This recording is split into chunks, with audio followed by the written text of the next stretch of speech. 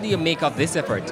For me, I, I think it is it's wonderful. I haven't seen it yet. I've made sure I've hold off because I want I was making sure I come here on the premiere and, um, and I can see it fresher. Jamaica's film industry is one that's growing and I'm particularly pleased about all of the projects I have seen in the past couple of years. Tonight is kind of make or break for me in the film industry in Jamaica. Uh, this picture has all the ingredients to do well, both locally and internationally. So, as an investor and as an executive producer, it's something that will really shape the direction of what's happening in film going forward. It's a step outside the box with where story is concerned, you know, not necessarily focusing on the bang bang, you know. Not saying that we're fighting against the bang bang ideas, but you know, we like to see when the story is being stretched. Anything Storm touch still is always a creative um, category five. No, I'm just happy to be a part of it, to be honest. And I'm happy that Jamaica will get to see it because I was in London, London loved it, and we were in the USA, and the USA loved it. So it is only imperative that Jamaicans love it, to be honest. Jamaica has a lot of talent. We just need the opportunity, and I'm just very grateful that they decided to give us this opportunity.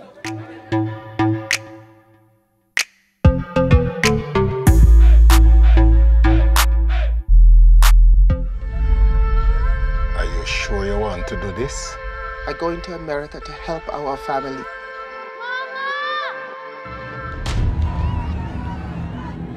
Set. It's Akeem Sharp who's now in front. It's Akeem Sharp of Stupid. They're calling this young man the Rat the Rock. Big up on yourself, yo. I mean, we made this happen. Everybody really sweated and suffered and felt pain and saw the burn and all kinds of. Um, so I really want to say, bless up to you and again, bless up to this talented cast. What do I think of the movie? I think it's phenomenal. I think it is very well directed. Lighting, cinematography, everything was on point, very true. You can actually see yourself, you can empathize with the actors and everything. This might be the first time you're seeing it all together. How was it?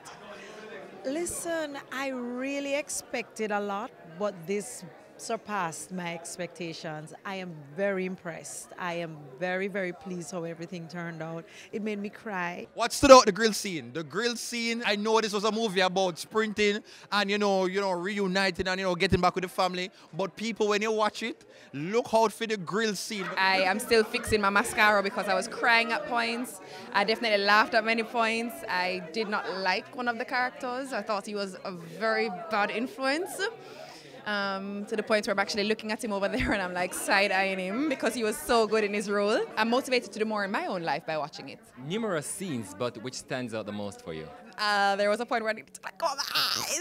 I just, I could, I know, I can't say it was that scene, but there were many points where I could not believe it was happening, and I'm so impressed by the fact that this is a Jamaican film. The storyline. I think it's relatable for a lot of people, and a lot of people enjoy it. I certainly did. We don't see a lot of the positive influence of um, male figures um, in Jamaica, and I think it's very refreshing to see it on screen um, in a different light. I love how Jamaica is depicted in this movie. Awesome. And um, I have a song in it, so I'm like thrilled too. So This is my fourth time now at the Carib Theatre premiering a film. And you know, each time I come here, I try to feel out how people react to the film, and I mean, genuinely, you know, I mean, it's unbiased, and them give me them real opinion. And tonight, I could have feel that. So please, remember, Sprinter, spread the word.